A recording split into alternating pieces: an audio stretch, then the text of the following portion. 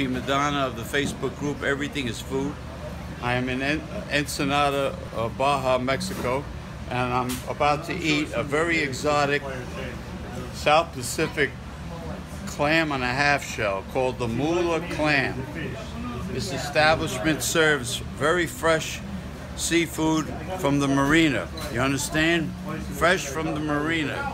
You could smell the quality.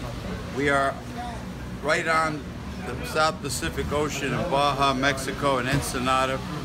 And this is the Mula clam. You see how dark it is? I'm going to try it.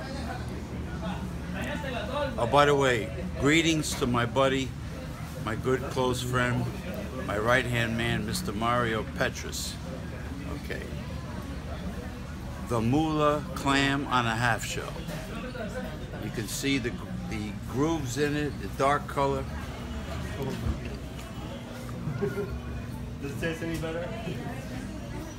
It has a snap to it. Not a snap, crackle, and pop, but it has a snap to it. And uh, it's exotic. It looks exotic. It tastes exotic. But will I try it again? No. Nope. Well, if it was a choice between letting it go to waste, I'd probably, I hate that you put one of those. I'd probably get King Neptune's revenge. Now I'm going to suck the juice, the juice of life of high testosterone promoting clam juice from the great Mula, the fabulous Mula. Oh, I feel invigorated already. That's it. That's enough for, about the Mula clams. You want to take a close shot of the Mulas? Soaking that Mula energy.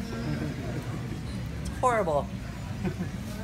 Yeah, the people that ordered it are not crazy about it. No. The Mula. That's enough for the Mula. Okay.